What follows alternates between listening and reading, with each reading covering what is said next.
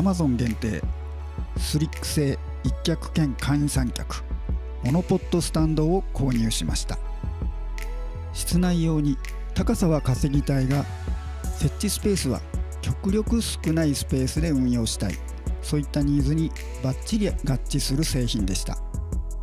全長161.5センチ。縮長67.5センチ。重量 750g 耐荷重 1kg 雲台は 2way のものがついてます。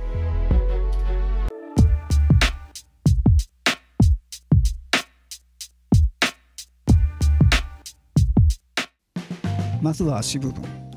2段式のコンパクト設計になっています。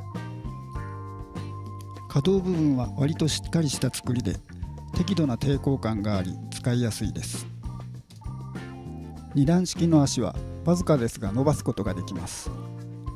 小スペースと安定性の両立を求めた結果このような形状になったのだと思います。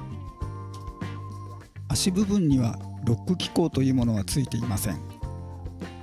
足の開閉具合で高さを調整したり設置場所の形状によって開き具合で調整するといったことはできません。常に全開か前閉の状態で使用することになります。ポール部分はレバー式ロックの4段式になっています。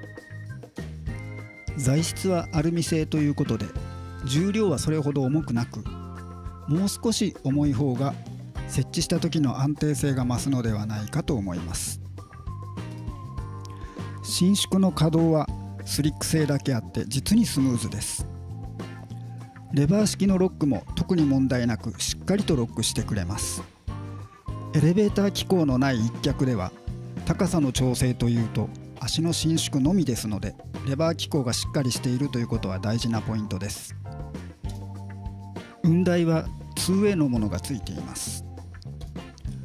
2way ですので動きは前後と左右の2種類のみです。台座部分は収式で分離できませんので都度取り付ける必要があります。そこでこんなアイテムを購入してみました。アルカスイス互換の収式に後付けで変更できるアイテムです。モノポットスタンドの台座部分にアルカスイス互換のベース部分を取り付けて使用します。ベースは一度取り付けるとそうそう取り外すこともありませんし使用中にずれてしまっても困るのでかなりきつめに取り付けても大丈夫です。これでカメラの取り付け取り外しが楽に行えるようになりました。アルカスイス互換の雲台を持つ他の三脚との連携もスムーズに行えます。この一脚兼簡易三脚のもう一つの特徴として卓上三脚として使用することができます。ヘッド部分ポール部分足部分と3分割することができますので一旦分割してポール部分を取り外します。取り外したヘッド部分と足部分をドッキングさせて卓上三脚の出来上がりです。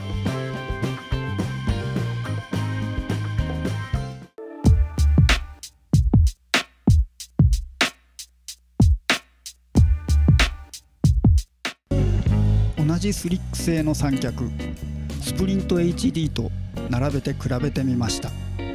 前高はほぼ同じ高さになりますがずっと下の方を見てみると設置スペースにこれだけの差が出てきます。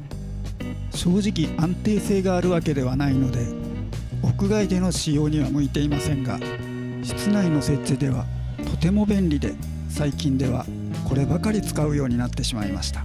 非常におすすめの一脚兼三脚ですではまた。